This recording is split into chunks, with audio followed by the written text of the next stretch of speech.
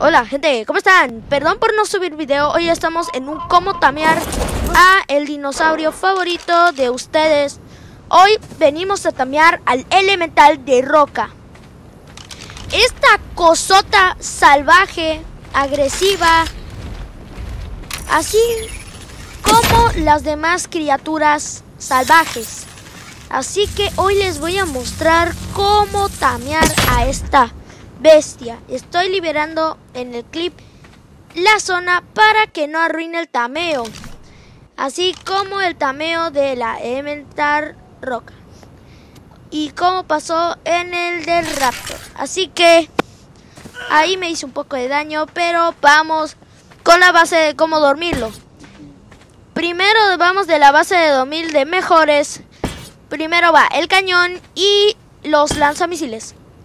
Los lanzamisiles son muy pésimos, así que van a tardar toda tu vida en dormirlo. Porque necesitará más de 100 misiles.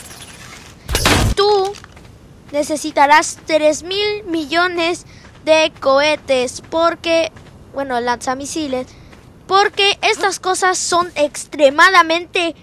No le suben nada de torpor, solo le suben como 1% de torpor de 100%. Así que pues hoy, ahora sí, ya les dije que, salí, que se tamea con un porcentaje de 100% el cañón y 50% el misil vamos con la alimentación.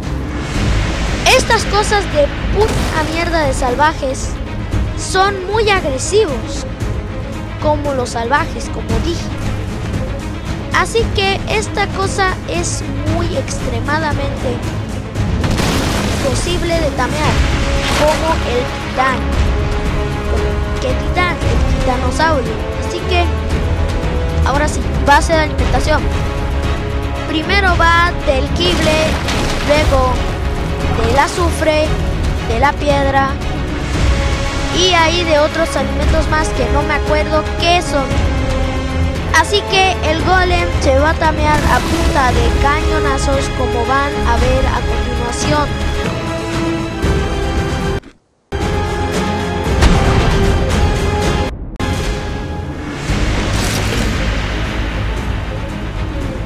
Y ahora, después de que su golem haya caído rendiéndose por la debilidad, tenemos que ponerle los cables extraordinarios para que se tamee bien.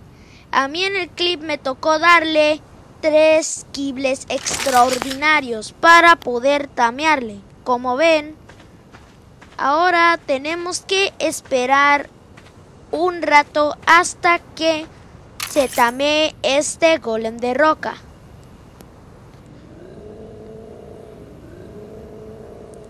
Y así es como se va a tamear nuestro golem de roca.